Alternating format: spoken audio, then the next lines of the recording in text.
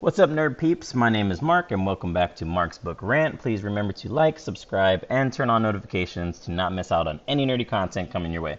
Today, we are recapping Storm Front Part Dos, which is the first book of the epic fantasy series, The Dresden Files. This rant series is to prepare us for the 16th book of the Dresden Files called Peace Talks, coming out on July 14th. I know lots of us need a recap or refresher to brush off the mental cobwebs before between book releases, so this is for you. Reminder this is not a review, but a complete spoiler, spoiler, spoiler, recap, and Cliff Notes type summary of the book. So, ready, steady, and fuego. Harry makes his way over to McAnally's pub. It's a sort of wizard version of Cheers, as 13 stools, 13 tables, 13 windows, 13 mirrors, and 13 curved wooden columns, and the purpose of all that is to disperse the grumpy wizard energy flowing throughout the pub. Uh, Harry, you know, greets Mac, you know, best bartender ever, and he picks up a newspaper and finds out that there's like another ThreeEye rampage uh, going on. This drug giving you know normal people the the wizard's sight. So we don't exactly know what the wizard's sight is. Mac you know informs harry that hey I, th- I think you've been followed. And we get introduced to miss susan rodriguez a latina reporter from the arcane who actually has no reservation about staring harry right in the eyeballs because she's already soul gazed him. She soul gazed him and passed out. So this soul gaze is uh, pretty intense, and oddly enough, it kind of makes the previous scene even more shocking that Johnny Marcone looked Harry right in the eye, soul gazed him, and didn't blink. And now we know the second person to soul gaze Harry uh, actually fainted from the experience. So, what's that say about Johnny Marcone? I think that's saying that he's a bit of a badass by the end of the conversation, trying to fish information about the Madison murders through Harry. She doesn't give her anything, and then she tricks him into a date uh, that Saturday night at 9 p.m. And of course, he is uh, useless to say no. She's totally winning that one. She leaves. He's kind of thinking about his his lady loves and reminisces about his super bad luck with the ladies having murdered his first lady love. So after that, those kind of bad thoughts, he heads on home. Harry gets some of his gear at home. He makes his way to the mighty Blue Beetle, his vehicle of choice that was newly repaired by the amazing mechanic Mike. And he heads on his way to Lake Providence to investigate Victor Sells. Uh, Harry's meandering around a, a, property a bit, finds a red plastic film canister uh, puts it in his pack. He might be able to use it later. We learn that a true name has a certain cadence and is made up of a certain words and it has to have the proper tone and inflection. And if you do all that, you can create a magical link.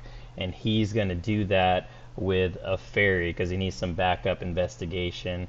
And there's a fairy by the name of Toot Toot, and he's going to uh, try to trap him in a magic circle. A magic circle is another thing that we learn about uh, that it helps focus and limit the parameters of magic used by wizards uh, with a little investment of energy and can also be used as a barrier for magical creatures uh, by the way of using some sort of blood to close the circle. And so Harry calls up Toot Toot, uh, traps him. Toot Toot is pissed he's pissed off. He he's he's mad that he uh, is being trapped, and he starts yelling at Harry. Uh, I'll try to do a toot toot impression, and he's like, "I should have known, you ugly, sneaky, ham-handed, big-nosed, flat-footed mortal worm." And he's like, "Hey, you toot." so I love Toot Toot's voice uh, by uh, James Marsters and we kind of learned from this interaction that uh, with fairies contracts are a big thing. So after uh, they uh, set a verbal contract up you know harry can now uh, release Toot but before he does during their conversation he actually realizes the fairies are uh, looking at harry. They even know that he has a date with susan and so uh, Harry never knew that before, so he's now paranoid that, hey, why are the fairies checking me out? So Toot goes, he comes back super quick and gives them some crucial info. Well, one piece of information that is super important is that fairies love pizza. So Harry promises uh, Toot Toot some pizza and tries to get him back on track about the, the case. And he actually finds out the reason uh, he's bringing up pizza is because at the house uh, the previous night they were having some intercourse and they ordered some pizza to recover their strength. That's all he knows, and he just kind of takes off. As soon as he takes off, Warden Morgan whips out his sword and lets Harry know that he's broken his probation, which they call the Doom of Damocles, and he is going to immediately uh, execute him.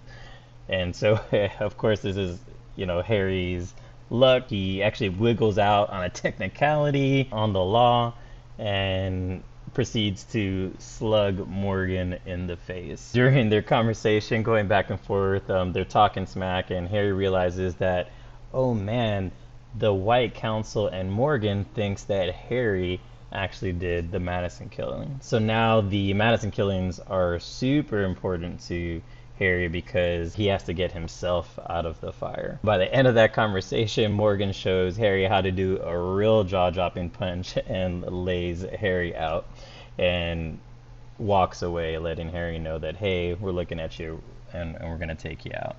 Uh, one thing that happens every time Harry interacts with Morgan is that he starts thinking about his past and his mentor that taught him how to use magic back in the day, and it looks like his mentor tried to seduce him with the black magic and try to kill him, and somehow Harry was able to actually kill his mentor, but unfortunately he did it with magic. And when you kill somebody with magic, it looks like there is a rule set by this white council, and if you break that rule, there is only one sentence. The sentence is death. So it looks like he was going to die, but he got out through a loophole of self-defense with magic and no one could really argue it because no one was there. So he was placed under this wizard probation. It was called the doom of damocles. One time mess up and you are immediately executed. Now harry has to find the killer or he's going to take the rap. Harry gets home to his basement apartment and giant overlord cat named mister then heads down to his sub-basement to wake up his smart-mouthed perverted genius cocky spirit of air skull named Bob. Bob actually winds up extorting Harry into making a love potion for Bob's help to make Harry two escape potions. And during the making of the potions, we learn that Harry can use his emotions somehow to fuel his magic and provide energy to the spell, but it leaves him completely exhausted and drained afterwards. After making the potions, Harry goes to bed and only really has to worry about talking to a vampire, locating a missing husband, avoiding the wrath of the White Council, and finding a killer before the killer finds Harry. Cakewalk. Harry talks to a stressed out and angry Lieutenant Murphy on the phone, and we find out Special Investigations, SI, is essentially the scapegoat for all bad press in Chicago PD. And Murphy needs answers to the case, and she needs it quick. Harry goes over to Va- Vampire Bianca's mansion, and of course, the Blue Beetle promptly dies in the driveway.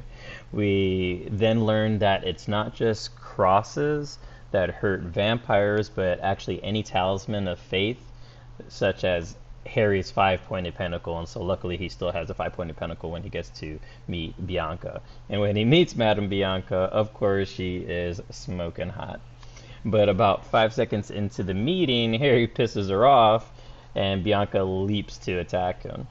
Uh, Harry barely was able to, to get his hanky out, which is magically filled with sunlight, and hits it uh, on Bianca, which rips away her flesh mask uh, to reveal her true, grotesque, bat like self. And she flies across the room and hits the bookshelf. He's able to hold her at bay for a little bit with his pentacle and gets a sworn truce for the duration of the conversation. And Bianca's flesh mask immediately comes back and she's creepily hot again. But of course, Harry can't forget how she really looks, and Bianca hates him for it. Uh, Harry gives Bianca another threat of his wizard's death curse, and later in that conversation is able to get the name of Linda Randall from Bianca and a promise of a phone number to contact her. but Harry has to leave out of there immediately because he's bleeding. And Bianca warns Harry right before he leaves that she'll remember the night and make Harry regret it. Bianca's assistant Paula comes in, and Bianca immediately hits her with the saliva, which seems to clearly be an addictive narcotic. And Bianca begins feeding viciously upon Paula.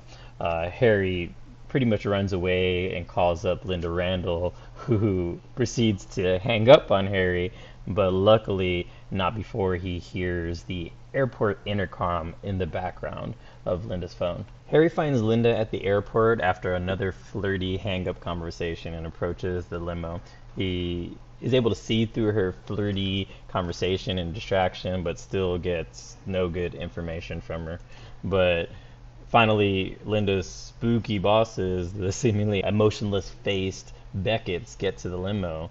Uh, Harry has to secretly pass Linda a business card before they leave. Uh, since he didn't get any info from Linda, he has to follow up on the Toot Toot pizza lead. When Harry calls up the pizza place, it's the only one that can deliver to the Lake Providence house, and he finds that Victor Sells already called looking for the nosy delivery boy who actually winded up seeing someone else that same night taking photos.